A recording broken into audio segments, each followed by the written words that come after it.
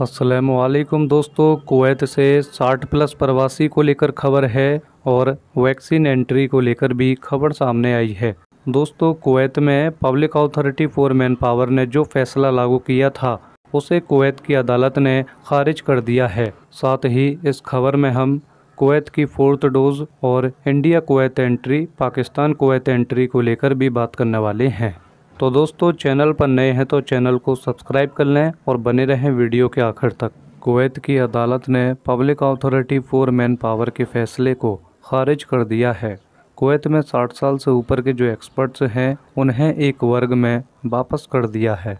बता दें कि कुवैत में जो नॉन ग्रेजुएट प्रवासी हैं, यानी कि 60 साल के और इससे ज़्यादा उम्र के, इनको लेकर कुवैत की अदालत ने public authority for man power के फैसले को खारिज कर दिया है, जिसमें प्राइवेट स्वास्थ्य बीमा के लिए 500 दिनार और 250 दिनार रेसिडेंसी शुल्क लगता था, जिसमें प्राइवेट हेल्थ इंश्योरेंस के लिए 500 दिनार देना पड़ता था और रेसिडेंसी रिनेबल के लिए 250 दिनार फ़ीस देना पड़ता था।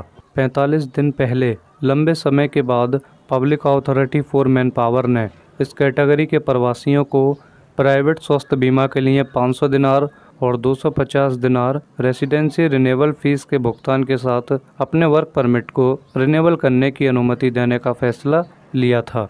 हालाँकि कुवैत की अदालत ने मंगलवार को एक अदालत के फैसले को बरकरार रखा। अपील अदालत के फैसले ने कानून द्वारा कवर किए गए 56 अन्य लेखों को रद्द करने के अलावा वर्क परमिट जारी करने में व्यापार मालिकों के बीच भेदभाव को समाप्त करने के लिए एक फैसला भी जारी किया। अपील न्यायालय का फैसला कुवैत के सदस्यों के पक्ष में अपनी तरह का चौथा फैसला है। इसके साथ ही कुवैत में फाइजर के सीईओ ने रविवार को सीबीएस को बताया कि कुवैत में वैक्सीन की चौथी खुराक की ज़रूरत है और कंपनी सभी वेरिएंट को संभालने के लिए एक शॉट पर काम कर रही है। कुवैत में पहले फोर्थ डोज को लेकर कोई नाम निशान नहीं था, लेकिन जब से वेरिएंट का नाम सुना, वायरस का नया वेरिएंट आया तब से फोर्थ खुराक का भी ऐलान कर दिया गया। बताया गया कि फोर्थ डोज अब कुवैत में लगने के लिए तैयार है। इसके साथ ही इंडिया और पाकिस्तान से जो प्रवासी प्रवेश करना चाहता है, वो कर सकता है। चाहे इंडिया हो या पाकिस्तान हो, इन देशों की कुवैत में एंट्री ओपन है। लेकिन याद रखना, प्रवासियों को फुली वैक्सीनेटेड होना बहुत ही ज़रूरी है, वरना तो कुवैत में क्वारंटाइन किया जाएगा और पीसीआर जाँच की ज़रूरत होगी। कुवैत में नया विज़िट वीज़ा को लेकर अभी कोई अपडेट नहीं है।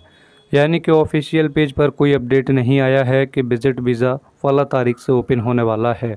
अगर कोई खुशखबरी होती है तो हम आपको सबसे पहले शेयर करेंगे कि विज़िट वीज़ा कब ओपन होगा। तो दोस्तों, ये थी कुवैत से आ रही कुछ लेटेस्ट अपडेट जो मैंने आप तक शेयर करी। दोस्तों, कुवैत की ऐसी ही खबर के लिए चैनल को सब्सक्राइब कर लें और बेल आइकन को प्रेस कर दें ताकि हमारा नोटिफिकेशन आपको मिल सके। मिलते हैं नेक्स्ट वीडियो में, तब तक के लिए अल्लाह हाफिज़।